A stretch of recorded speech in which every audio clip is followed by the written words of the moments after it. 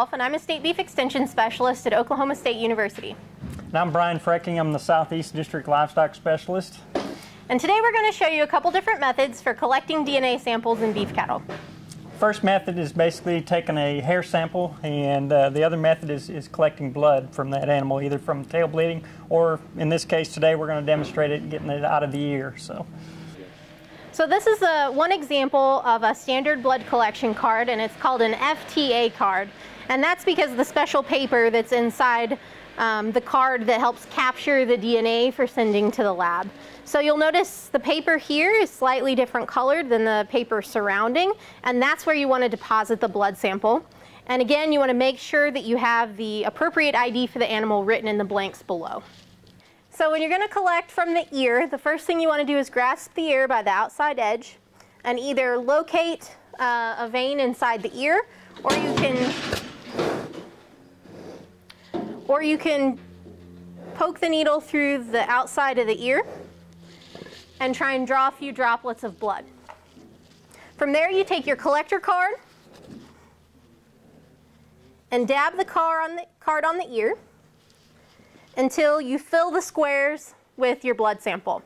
So the important thing to do here is continue until you have the entire square full of blood, but you don't want to oversaturate the card to the point that it soaks through the paper on the back.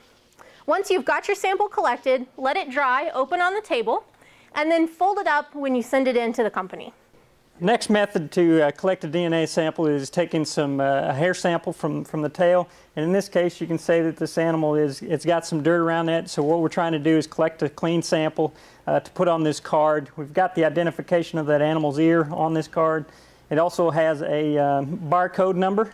And so when we send these samples off, we'll know we make sure we, we've got the correct animal with the barcodes. So now I'm going to demonstrate how to collect the, uh, the hair sample and to place on this card. We're going to grab, grab the tail. We're going to try and find as clean a spot as we can on this animal and try and get a pencil uh, width uh, of hair to grab. And we're ready. We're going to go basically towards the, the, the backbone of this animal and just pull straight up. And we want to make sure we get these bulbs on the end. And that way we can put this in the card. So I've got a pretty good sample here. These cards come apart with a little sticky, sticky end on them. We want to put the bulbs in the, in the back portion where they'll stay. So we've got our sample with the bulbs with some hair hanging out and we'll go ahead and trim this card before it's sent off to the to actual company to be evaluated for any DNA testing that we want done. Okay, so I trim, trim this uh, sample right here by just cutting off the excess hair and we've made sure we've got the bulbs in the uh, uh, plastic area that they can take that sample from.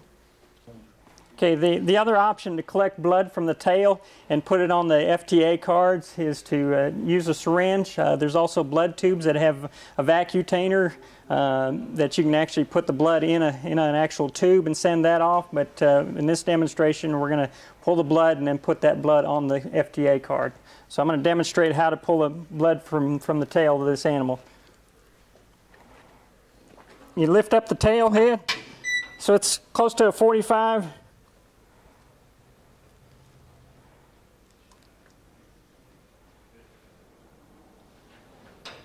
sometimes you've got to uh, move the needle just a little bit and it pulls about two to three cc's of, of blood.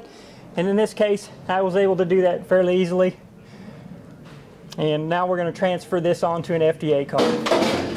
So some of the primary reasons that we might want to collect a DNA sample include testing for genetic abnormalities, testing for simply inherited traits like horn polled, the horn polled test or coat color, black versus red, and also some of the newer tests for quantitative production-related traits, such as uh, marbling carcass, uh, other carcass traits, or growth traits, for example.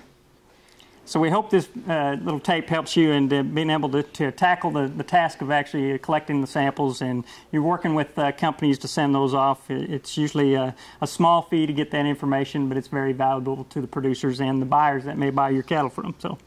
If you want your test to test results to be uh, recognized by your breed association, often you will have to order the collector cards directly from the breed association. So it's important to contact them first uh, if you want to get the results recognized by the association. Otherwise, you can go through your testing, uh, your representative at the testing company.